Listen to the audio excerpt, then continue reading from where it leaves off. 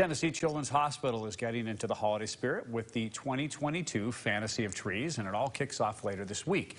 Now, this event helps the hospital buy medical equipment for its patients.